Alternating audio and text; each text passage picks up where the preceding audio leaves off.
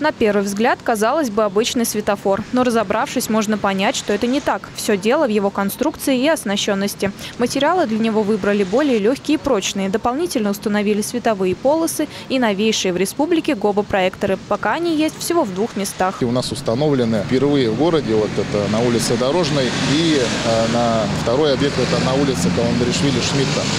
Значит, установлены ГОБО-проекты, ГОБО-проекция. Значит, а, проецирует у нас а, а, дополнительно проецирует пешеходный, пешеходный переход. То есть это позволяет, ну вот по каким-то погодным условиям, может снег выпал, да, и оперативно не удалось убрать зебру, это будет в любом случае видно вечером.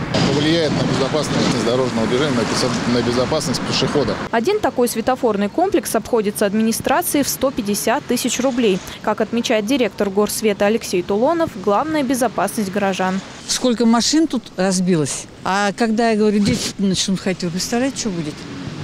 Вообще, конечно, конечно, конечно. А- Обязательно надо. Конечно, и удобно.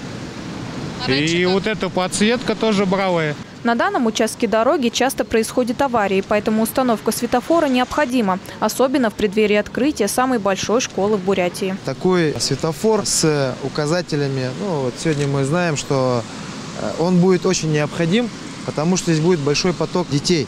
Горсвет э, совместно с администрацией города движется в правильном направлении. Безопасность наших детей, а также наших горожан – это самое э, важное на сегодняшний день. Дарья Белева, Жаргал Ирдениев, телекомпания АТВ.